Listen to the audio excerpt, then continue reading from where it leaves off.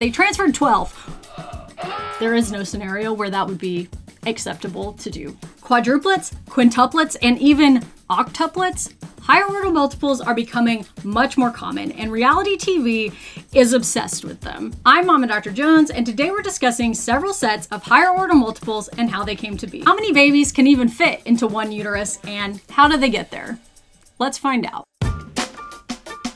First, we're talking about the Busby quintuplets. That's five babies, if you're keeping track. I've put them first because we have a little bit more information about how they came to be than some of the others, and they have a really interesting story to tell. They are famous for being the first set of surviving all girl quintuplets born in the United States. And you may know them from their show on TLC called Outdaughtered, which ran from 2016 to 2021. Ava, Olivia, Hazel, Riley, and Parker were born to Adam and Danielle Busby, and they have a big sister whose name is Blake. They have a pretty interesting story about how they came to be. So if you look back at the blog, I guess that Danielle, which by the way, all of you always freak out when you figure this out, but my name is also Danielle, and yes, I do have a first name. Moving on. Adam and Danielle Busby had decided that they wanted to start a family, but unfortunately were having trouble getting pregnant. So they were working with their doctor to try and figure out what the cause of their infertility was.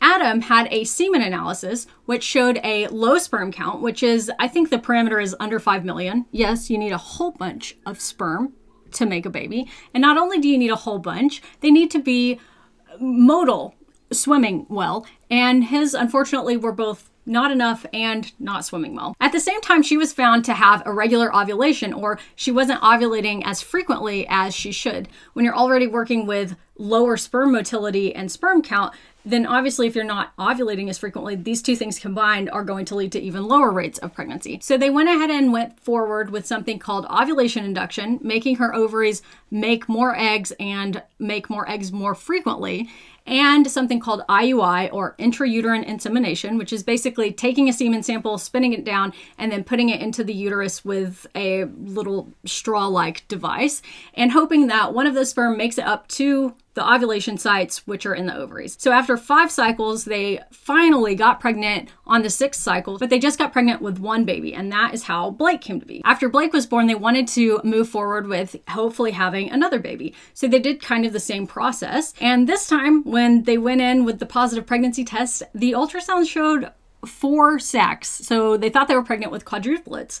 A couple of weeks later, they went back for follow up, and one of the sacs was found to have two embryos in it. So what we have here is a quad zygotic, so four separate zygotes, four separate embryos who all implanted. And in one of those embryos, before it implanted, it split into two. So they have a set of identical twins and then three other babies all growing in there at the same time. And by what has to be the most statistically unlikely thing to happen, I mean, I don't even know what would be comparable. Every single baby that they had in that uterus was a girl. The identical twins were girls, the other three babies were girls, and the older sister was a girl. So that's how their show Outdaughtered came to be. They were born on April 8th, 2015 at 28 weeks, and I can't find really what the indication for 28 week delivery is, but honestly, carrying uh, that many babies 28 weeks is not unimpressive. All of the babies weighed between 2 pounds and 2 pounds 6 ounces. It sounds like the babies spent about 3 months in NICU, but they all ended up doing quite well and went home and seem to be happy and healthy now. Next up are the Gosselin sextuplets. If you had a heartbeat and existed in the United States of America in the early 2000s, you most certainly have heard of this family.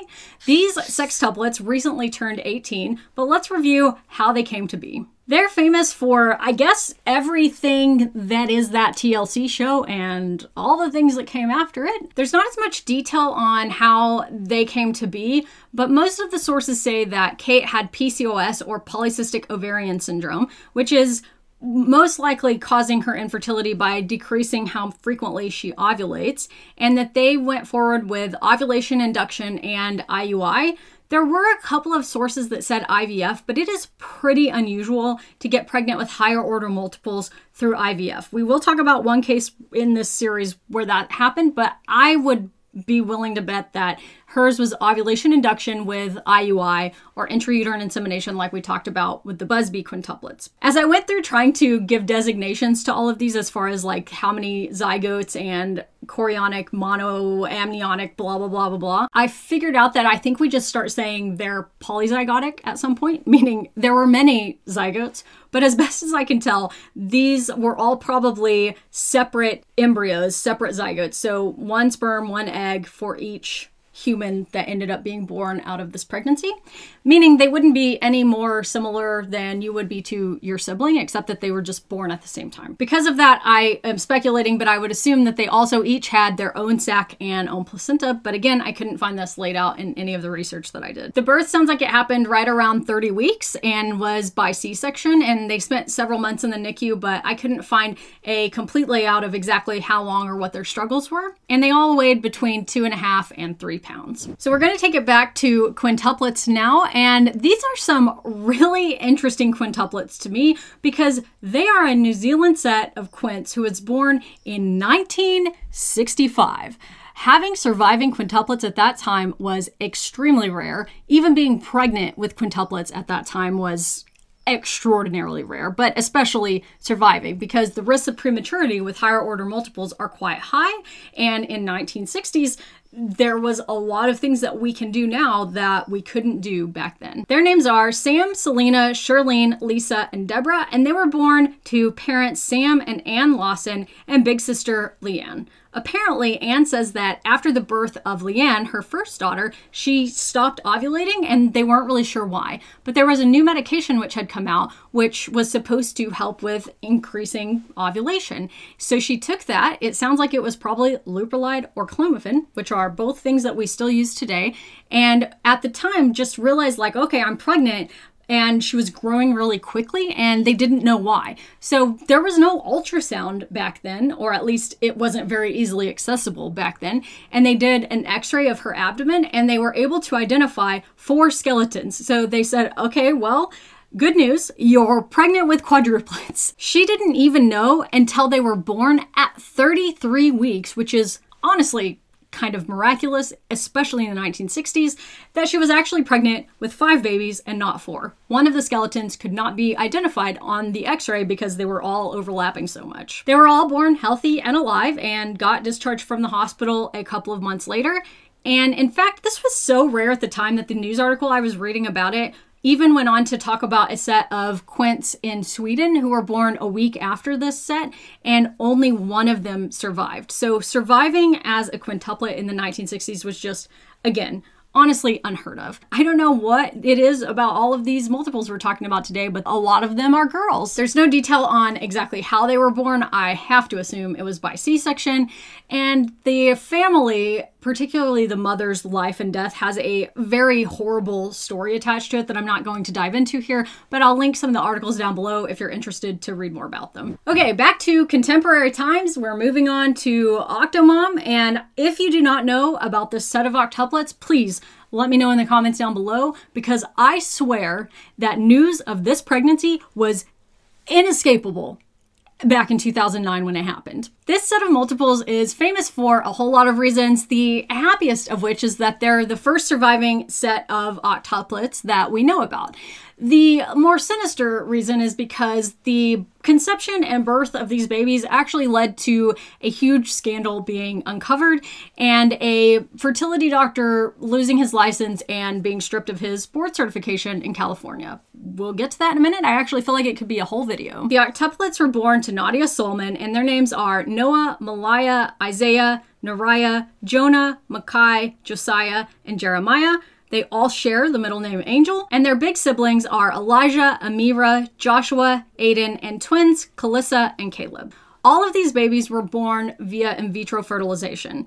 And if you'll remember earlier, I said it's pretty unusual to have higher order multiples which come from in vitro fertilization as opposed to ovulation induction and intrauterine insemination.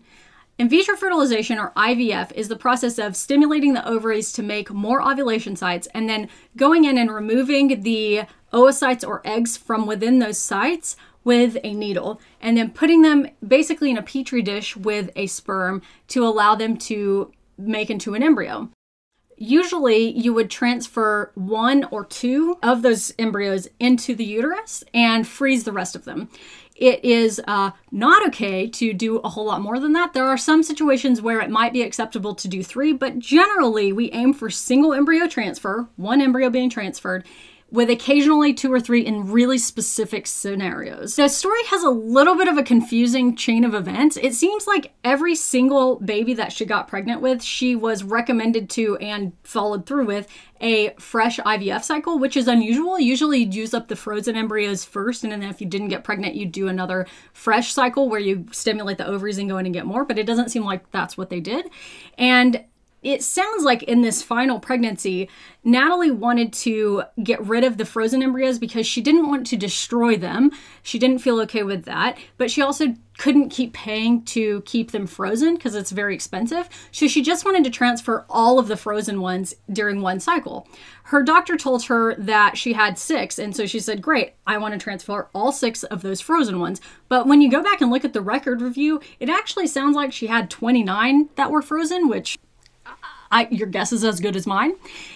And despite that, it sounds like he actually convinced her to just go ahead and do another fresh IVF cycle instead of using the frozen embryos, which makes absolutely no sense. So they went ahead and went through with a brand new IVF cycle, and he told her he would just transfer all the embryos that they made. He told her he transferred six. He actually, on review of medical records, transferred 12. Who knows what he actually did, but that's what the, they had documented is that they transferred 12 there is no scenario where that would be acceptable to do. Absolutely 100% medical malpractice, as is probably convincing her to keep doing all of these fresh IVF cycles. That doctor, Dr. Kamrava, was eventually uh, stripped of his license and board certification, which makes complete sense.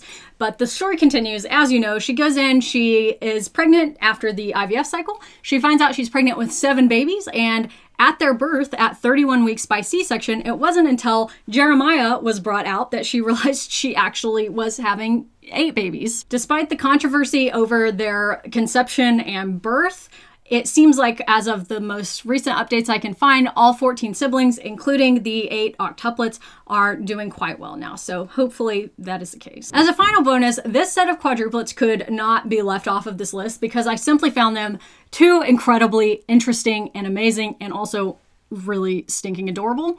This is a set of monozygotic spontaneous quadruplets. That means one sperm and one egg got together and made one embryo, which split into four identical boys who are absolutely adorable. Chris and Jenny Marr had their quadruplets at 28 weeks by C section, and as far as I can tell by scrolling through their Instagram, they all seem to be doing quite well at this point. As a five foot two person who has carried twins, I simply cannot imagine if there had been four babies in there, much less five, six, and especially not eight. If you're new and you want to subscribe, it would mean a lot to me. I genuinely love coming here and teaching you about things that I find so interesting. I'll see you next Monday.